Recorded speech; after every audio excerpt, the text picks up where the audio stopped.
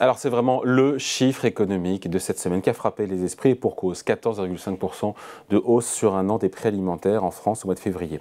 Et la nouveauté, euh, ça on l'a compris mais je le rappelle, c'est que ce sont les, euh, les courses du quotidien et non plus euh, l'énergie, le gaz, le carburant, l'électricité qui font le plus grimper l'inflation en France. Sébastien Grob, bonjour. Bonjour. Merci d'être là, journaliste au service éco de Marianne. Vous avez décortiqué ces chiffres de l'INSEE et vous avez regardé en gros les profits des différents secteurs, notamment le secteur de l'agroalimentaire, de la mmh. grande distribution.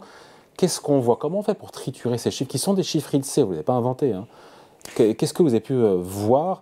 Est-ce qu'il y a des excès pour certains secteurs? Alors, ce qu'on voit dans ces chiffres INSEE, qui sont des chiffres très agrégés, donc sur l'ensemble des secteurs, euh, et qui ont été euh, mis à jour mardi matin, donc qui portent sur la fin de l'année 2022, ce qu'on voit, c'est que sur le dernier trimestre de 2022, on a notamment une hausse importante des profits de euh, l'industrie agroalimentaire, puisque dans le périmètre défini par l'INSEE, ils sont passés de 3 euh, milliards d'euros fin 2021 au dernier trimestre de 2021 à 6 milliards d'euros fin 2022. Donc euh, dans ces chiffres de l'INSEE, ils ont C'est des profits ou c'est du résultat d'exploitation C'est quoi C'est ce que dans la définition de l'INSEE, c'est l'excédent brut d'exploitation. Donc c'est en gros le chiffre d'affaires moins le prix de, moins les coûts de production, moins les salaires, moins les impôts. Donc ça a doublé Ça a doublé. Donc ça, ça contredit plutôt les déclarations qu'on a pu avoir, à la fois en lien avec un rapport de l'inspection générale des finances qui a été publié il y a quelques mois, mais aussi euh, d'Emmanuel Macron qui a plutôt appelé à des efforts de la grande distribution.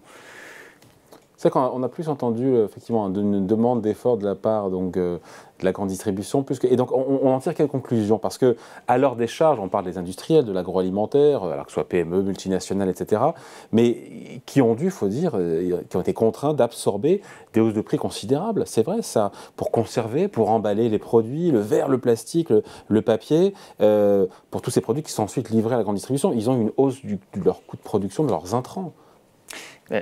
De fait, il y a eu une hausse importante des coûts de production, mais ce que montrent ces chiffres, en tout cas de, l'INSEE, c'est que sur cette période entre la fin de 2021 et la fin 2022, donc sur la période où il y a eu toutes les hausses de coûts liées à la guerre en Ukraine notamment, eh bien, les hausses des tarifs de l'industrie agroalimentaire, de fait, ont progressé plus vite euh, que, ces coûts.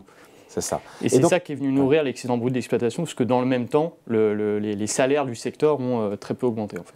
Donc l'enseignement, et je, je, pose la question encore une fois, c'est que pardon, je le dis un peu un peu cash, mais l'industrie agroalimentaire a profité de la situation euh, parce que ces grands groupes, souvent, ont des, des, marques qui sont incontournables dans les rayons, et donc euh, il y a ce, cette attractivité euh, dans c'est ça. Et encore une fois, je, pose la question. Il y a eu, pas le mot abus, mais il y a, il y a eu encore une fois, il y a eu plus trop de profits, un surplus de profits qui ne s'explique pas économiquement? Ce qu'on peut dire en tout cas, c'est que sur cette période-là, donc euh, entre la fin de l'année dernière et celle d'avant, l'industrie agroalimentaire en tout, cas n'a pas comprimé ses marges ou maintenu des marges plutôt faibles pour limiter la hausse des prix. Au contraire, la hausse de ces marges a plutôt alimenté la hausse des prix. Et d'ailleurs, on a eu les, euh, des, résultats de calcul d'un économiste euh, statisticien qui s'appelle Sylvain Billot, qui montre que parmi la hausse des tarifs de l'industrie agroalimentaire sur cette période, il y en a en réalité 40% qui s'explique par la hausse des profits. C'est-à-dire que la hausse des tarifs, à 40%, elle est venue alimenter la hausse de l'excédent brut d'exploitation de l'industrie agroalimentaire, ce qui est quand même une part importante. Maintenant, est-ce que, euh, pour l'instant, c'est encore un peu tôt pour dire que l'industrie agroalimentaire profiterait de la situation? Déjà parce qu'on sait... C'est un peu difficile aujourd'hui d'expliquer précisément ces chiffres agrégés. On ne saurait pas dire exactement si c'est volontaire de la part de l'industrie. On peut penser qu'effectivement des grands groupes ont pu chercher à avoir des, des hausses en tout cas euh, plus importantes que d'autres euh, PME euh, qui ont moins de mm. pouvoir de négociation. Aussi, il faut voir que malgré tout, fin 2021, début 2022, la marge pour le coût de l'industrie était assez faible. Parce ah, donc c'est peut-être un retour de manivelle, hein. c'est peut-être un rééquilibrage. Il y a en partie, on peut penser, un, un rééquilibrage, puisque le, ce, taux, ce, taux, de marge était assez faible fin 2021, début 2022, mais au cours de l'année, euh, le taux de marge, c'est-à-dire le rapport entre les revenus, la valeur ajoutée du secteur et l'excédent brut d'exploitation, au dernier trimestre, il a atteint un niveau quand même très élevé qui est de 45%. Et ça, c'était jamais arrivé depuis 2005. Donc, on n'en tire pas des conclusions trop hâtives non, plus.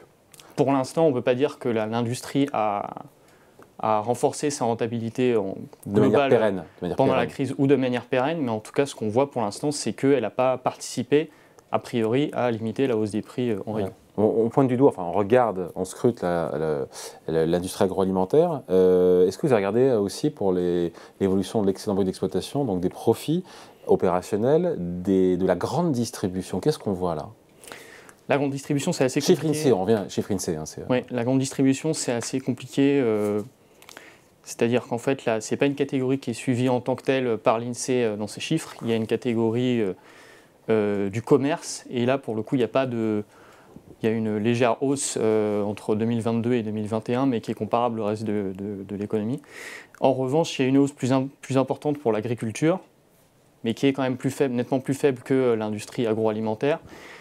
Et par ailleurs, euh, de ce qu'on sait, on peut penser que cette hausse s'explique en grande majorité par l'explosion des cours des céréales, puisque notre agriculture est assez spécialisée sur les, sur les céréales.